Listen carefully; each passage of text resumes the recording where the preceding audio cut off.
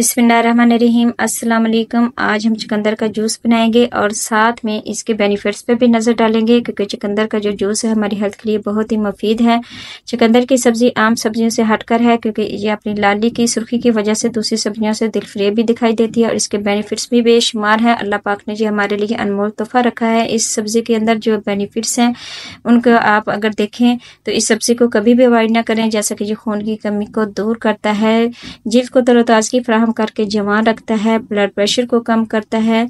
मैदे के जो है अमराज, उसमें बहुत ज़्यादा मुफीद है और ये हावला खातन के लिए तो बहुत ही फ़ायदेमंद है क्योंकि इसमें फोलिक एसिड है नाइट्रेट है, ज़ख़म को जल्दी भरता है, खून को साफ़ करता है, मैदा के अमराज में तो ये बहुत ही फ़ायदेमंद है, दिमाग को यादाश्त को बेहतर बनाता है और इसके अलावा कॉन्स्टिपेशन को दूर करता है। दिल की बीमारियाँ में ये बहुत ही ज़्यादा मुफीद है, दिल के दर्द को कम करता है। इसके अलावा जो है हार्ट और स्ट्रोक्स उनके लिए ये तो बहुत ही ज़्यादा फ़ायदेमंद है। इसके अलावा भी इसके बेश बेशुमार फ़ायदे हैं। तो चलिए साथ साथ रेसिपी भी शेयर करते हैं और इसके फ़ायदे पर भी नज़र डालते हैं। यहाँ पे हमने चकंदर लिया है। चकंदर को मैंने यहाँ पे फ्रीज़ कर लिया है। आपके पास फ्रेश है तो वो ले लें, कोई इशू नहीं है। तो अगर आपके पास ज़्यादा मकदार में आए तो जिस तरह क्यूब्स में काट कर आप उसको फ्रीज़ भी कर सकते हैं और हंसपे ज़रूरत निकाल कर उसका जूस बनाकर आप उससे फ़ायदा उठा सकते हैं। तो यहाँ पे मैं अपनी ज़रूरत के हिसाब से तकरीबन तीन चार गिलास के लिए मैंने जहाँ पे कुछ चकंदर लिए हैं, उनको मैंने टोकरी में अलग से निकाल लिया और बाकी को मैं दोबारा से फ्रीज़र में रख दूँगी। और मैंने धो के इसको वॉश करके मैंने जग में डाल दिया है। वीडियो थोड़ी हिलती हुई बनेगी क्योंकि मैंने वीडियो आप लोगों से शेयर भी करनी थी और स्टैंड का जो है मशक्क़त वो भी उठाना चाह रही थी, इसलिए अवॉइड कीजिएगा।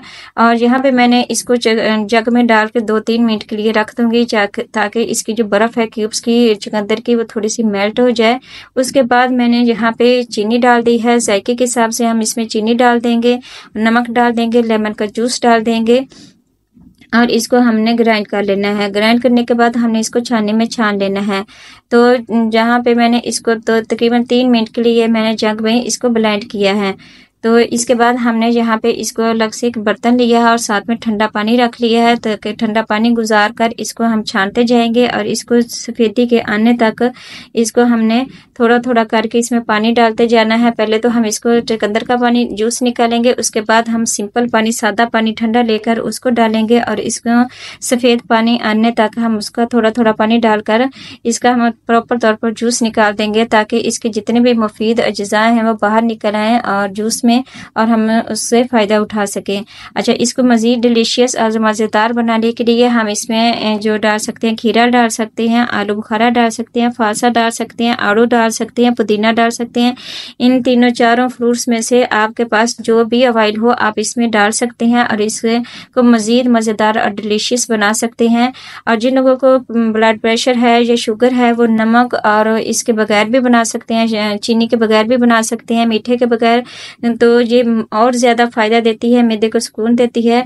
तो हमने इसको जो है, इसके फ़ायदे हासिल करने हैं, इसको छोड़ना नहीं है, क्योंकि ये जो आर्टिफिशियल जूसेस हैं, उनके तो नुकसान ही हैं। जो इस तरीके से हम जो कुदरती जूसेस बनाकर पियेंगे, क्योंकि गर्मियों में मौसम में पसीना बहुत ज़्यादा खारिज होता है और नमकियात की जिसम में कमी हो जाती है, पानी की कमी हो जाती है, उनको पूरा करने के लिए हम जो ने जो है ना, वो इस तरीके से फ्रेश जूस बनाकर पीने हैं। तो जो हमने माशाल्लाह से बड़ा ही मज़ेदार किस्म का बेहतरीन किस्म किस्म का जो जूस बना लिया है, ये हमारी कब्ज को दूर करता है, निज़ाम हाजमा को भी बेहतर बनाता है चिकनाई को जिसम से दूर भगाता है, खून से फासक मातों को खारिज करता है। जिल्द को ताजगी फराम करके जवान रखता है, जिल्द के खुलियों के टूट फूट के अमल को रोकता है। तो इस, इसलिए हमने इसको ज़रूर इस्तेमाल करना है जहाँ पे हमने जग, गिलास में इसको डाल लेना है और इसको जो है, इसको सर्व करना है। तो बहुत ही मज़े की डिलीशियस किस्म का ये जो हमारा चुकंदर का जूस है अपने बेहतरीन बेनिफिट्स के साथ ये तैयार हो चुका है। तो हमने गर्मियों में इसका भरपूर फ़ायदा उठाए बच्चों को पिलाएँ, बड़ों को पिलाएँ। उम्मीद है वीडियो पसंद आई होगी। वीडियो पसंद आए तो प्लीज़ चैनल को लाइक करें सब्सक्राइब करें।